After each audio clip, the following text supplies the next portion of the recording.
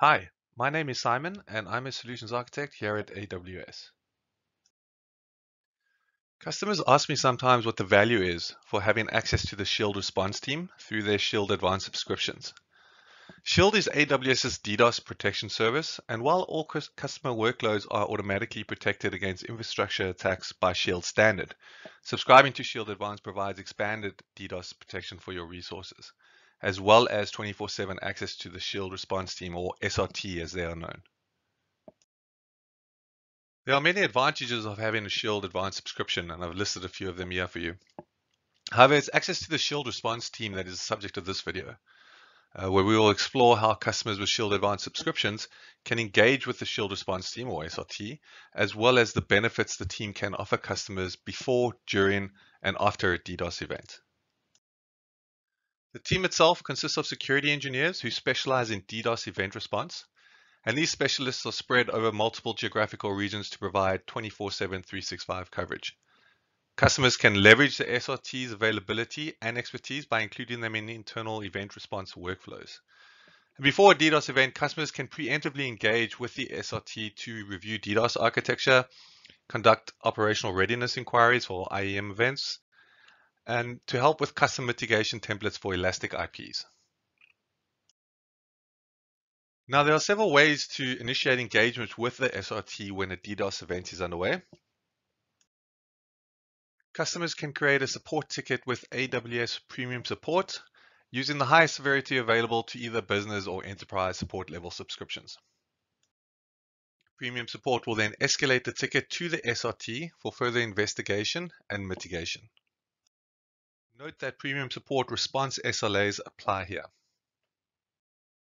For quicker response times, customers can initiate an engagement with the SRT using the Shield Engagement Lambda. And this Lambda can be configured ahead of time to include details specific to a given customer, such as a preferred contact list or bridge ID. This method will escalate the case directly to the SRT, bypassing premium support and accelerating the engagement time. Customers also now have the ability to configure proactive engagement, where the SRT will initiate contact with the customer's pre-listed contacts when health checks indicate that the customer's application is unhealthy during a detected event.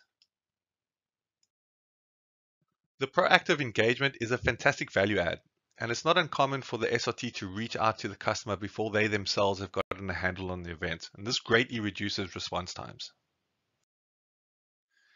During an event, the SRT can really help customers identify and then mitigate an attack in as short a time as possible.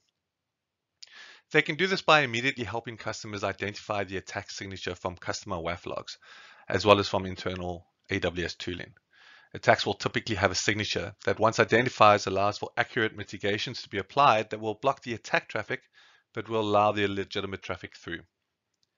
To optimize engagements and accelerate mitigations, customers can provide SRT access to their WAF logs in advance of a DDoS event. During an event, the team will work with the customer to check volumetric data, so checking for spikes of data coming in. They also use statistical analysis, comparing historical usage patterns with current patterns. All these actions help them identify source IPs and attack signatures, which can then be used in mitigation actions. They can help customers author their own WAF rules based on the attack signatures, as well as also adding custom mitigation on AWS Edge equipment that can drop the attack traffic as far from the customer resources as possible. The SRT can also use BGP traffic engineering to alter the way traffic enters our network, allowing the impact of a DDoS event to be diluted over multiple ingress points. The SRT is also more than just a reactive team and correlates DDoS event data for threat research purposes. Based on this collective data, they continually publish best practice guides in the AWS security blog. To view these articles, you can search the AWS security blog with the tag AWS Threat Research Team. Additionally, they also author protection guides, architectural best practice white papers, and an annual threat landscape report. These publications are available to all customers. I'd like to finish off by giving two quick examples of how the SRT has helped customers mitigate attacks in the past. The first example is how they helped a customer with a layer 7 mitigation using WAF, and the second is how they helped another customer with a layer 4 attack with edge mitigation.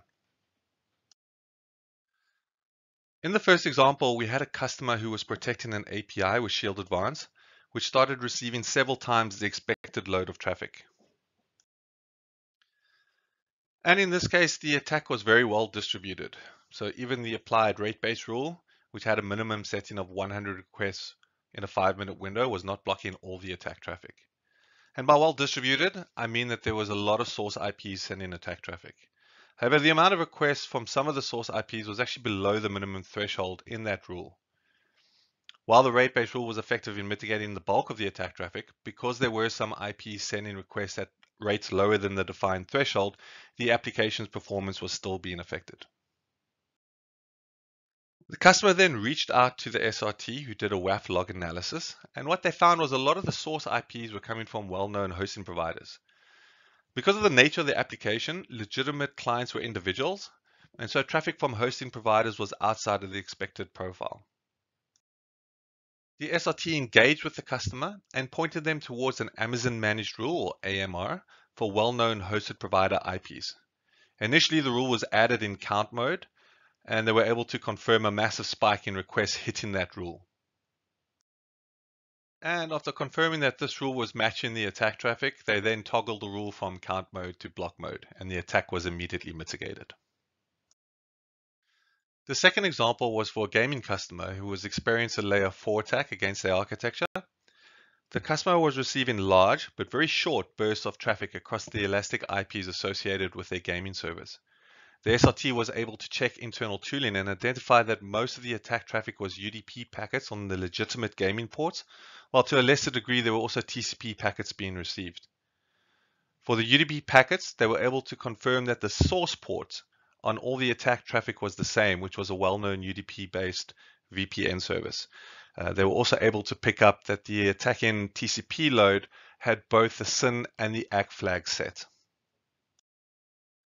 Those internet-based services were then responding to those packets and directing those responses to the spoof source IP, which were the elastic IPs attached to our customers' resources.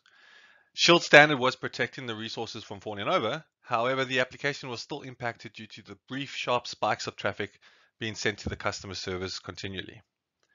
The SRT worked with the customer to confirm the expected traffic profile so that they could put mitigations in place at the border of the AWS network. As the application servers were not expected to generate any outbound TCP connections, there would be no SYN packets being sent out from those elastic IPs, which as you know is the first packet of the three-way handshake, and consequently there should be no TCP SYN ACK packets returning to those servers, which is the second packet in the three-way handshake. So based on these reflection signatures, the mitigation at the border included blocking all inbound TCP packets with the SYN and ACK flag raised, as well as blocking any UDP packets with the source port identified in the investigation. Once this mitigation was applied, all the attack traffic dropped at our border and consequently the customer's application was stabilized. I hope that this video has provided you some insights into the value of the Shield Response team and how they can help you during a DDoS event. Thank you.